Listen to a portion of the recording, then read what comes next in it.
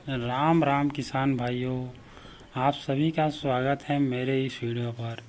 किसान भाइयों, जब हम धान की बुआई करते हैं तो अकेला धान ही नहीं उगता, उनके साथ साथ कई खरपतवार और उग जाते और इन खरपतवार को नियंत्रण करना बहुत ज़रूरी रहता है।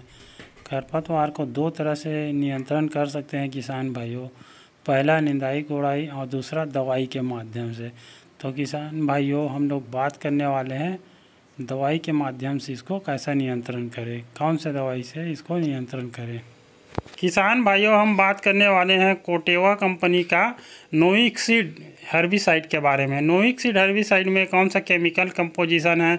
नोइक्सिड हर्बिसाइड कौन कौन से खरपतवार को नियंत्रण करता है? नोइक्सिड हर्बिसाइड का उपयोग कब करें? और नोइक्सिड हर्बिसाइड उपयोग करने के कितने दिन बाद खाद डालें? इन सभी चीज़ों के बारे में इस वीडियो में बात करने वाले हैं किसान भाइयों। जानकारी पूरा देखने के लिए किसान भाइयों, वीडियो में लास्ट तक बने रहे और वीडियो को जो लोग लाइक नहीं किए हैं, वो लाइक कर दें और चैनल में जो नया है, वो सब्सक्राइब कर दें और बेल आइकन की घंटी को दबा दें ताकि मैं इस प्रकार का और दूसरा वीडियो अपलोड करूँ तो आप तक नोटिफिकेशन पहुँचता रहे। किसान भाइयों, सबसे पहले बात कर लेते हैं इसके केमिकल कंपोजिशन के बारे में। किसान भाइयों, इसमें दो केमिकल कंपोजिशन है। पहला जो केमिकल कंपोजिशन है, उसका नाम है फ्लोरोपायरोक्सीफेन बेंजियार एक दशमलव तीन एक परसेंट। और दूसरा जो केमिकल कंपोजिशन है, उसका नाम है पेनोक्सालम दो दशमलव एक परसेंट। ओडी फार्म पर यह दवाई उपलब्ध हैं। किसान भाइयों किसान भाइयों, बात कर लेते हैं नोइक सीड हर्बिसाइड का उपयोग कब करना है? नोइक सीड हर्बिसाइड का धान में उपयोग हमें जब धान की बुआई पंद्रह से पच्चीस दिन की हो, तब इसका उपयोग करना है। और खरपतवार का उम्र दो से चार पत्ती की हो, तब इसका उपयोग करना है।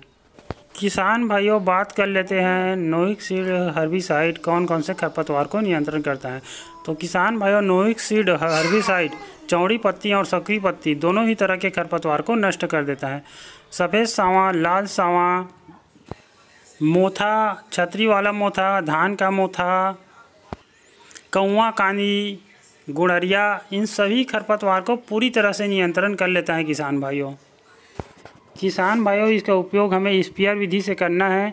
जब खरपतवार की अवस्था दो से चार पत्ती की हो, तब इसका उपयोग करना है।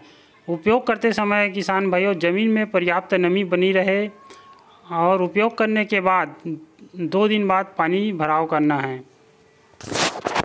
नोई सीड हर्बिसाइड उपयोग करने के छः से सात दिन बाद खाद डालना है किसान भाइयों। किसान भाइयों नोई सीड का रिज़ल्ट तीन से चार दिन बाद दिखना प्रारंभ हो जाएगा। किसान भाइयों नोई सीड स्प्रे करने के दो घंटे बाद बारिश होगा, फिर भी से इसको कोई फ़र्क नहीं पड़ेगा। नोई सीड अपना काम करेगा ही करेगा।